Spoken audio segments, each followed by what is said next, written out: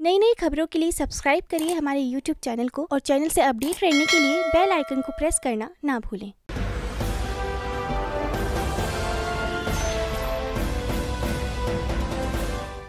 नमस्कार दर्शकों, मैं आपके साथ सीमा उपाध्याय आप देख रहे बुलंद हिंदुस्तान। दिल्ली एनसीआर वालों को जल्द ही न्यू नोएडा के साथ ही हाईटेक टाउनशिप का तोहफा भी मिलेगा।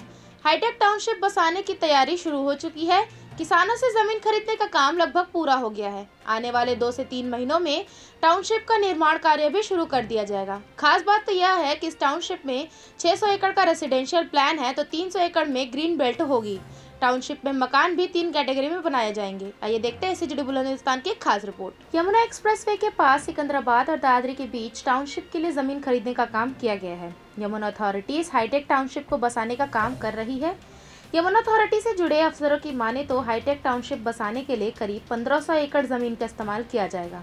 इसमें से 35 से 40 फ़ीसदी ज़मीन पर रेजिडेंशियल प्लान बनेगा 4 से 6 फ़ीसदी पर कमर्शियल इस्तेमाल के लिए होगा 4 से 6 फ़ीसदी इंडस्ट्रियल के लिए 8 से दस फ़ीसदी पब्लिक यूटिलिटी के लिए पंद्रह से अट्ठारह फ़ीसदी पर ग्रीन बेल्ट तैयार की जाएगी। वहीं अट्ठारह से बीस फ़ीसदी पर रोड कंस्ट्रक्शन होगा और तीन से पाँच फ़ीसदी का इस्तेमाल रिकनरेशन के लिए होगा। तो ये थे बुलंद हिंदुस्तान की खास रिपोर्ट। और भी ऐसी तमाम खबरों के लिए हमारे साथ बने रहे और देखते रहे बुलंद हिंदुस्तान।